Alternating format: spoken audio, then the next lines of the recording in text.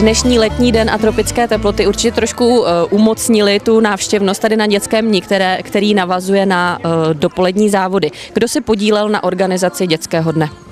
Eh, dětský den organizuje tento rok eh, sociální a kulturní komise dohromady. Spojili jsme tedy síly a oslovili jsme ještě další organizace, které fungují ve městě a které by byly ochotné se zúčastnit, takže se zúčastnil sbor dobrovolných hasičů, eh, florbalisté se zúčastnili Rýchorský autoklub a další aktivní lidé.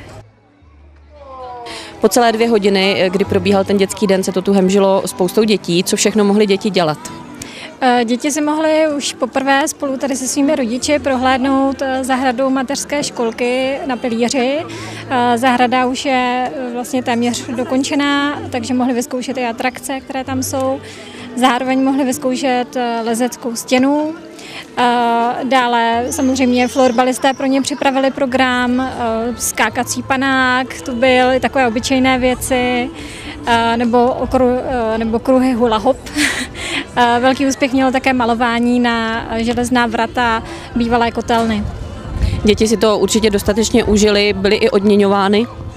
Ano, byly odměňovány, dostali vlastně u každé té atrakce, dostali po vykonání tady toho příslušného úkolu, dostali drobnou odměnu v podobě bombonu.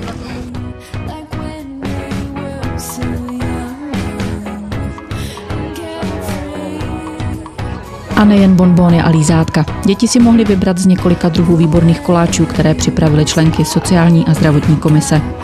Točila se limonáda a k poslechu zpříjemnila odpoledne hudba z mixážního pultu Vaška Petružálka.